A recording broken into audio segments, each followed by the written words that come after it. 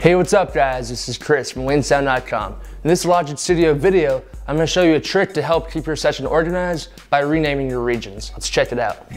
So in Logic, when you rename a track after the recording process, the regions within that track are not gonna be renamed for you. However, don't worry, it's not very hard to take care of. You can do it within a couple clicks of the mouse. So, as you can tell, none of these tracks are named the same as its regions. So simply, if I want to rename this region with this track, simply select the track, make sure the regions are highlighted, go up to region, scroll down to track names to regions. That's it. All of the regions work exactly the same way. Just do the same exact thing.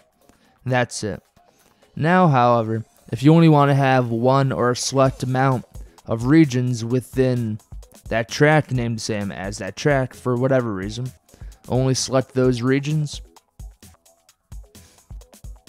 And those will be the only regions that are named the same as the track. However, now if I want to have all the regions within this track called Moody Drums, all I do is select the track. It'll highlight all the regions.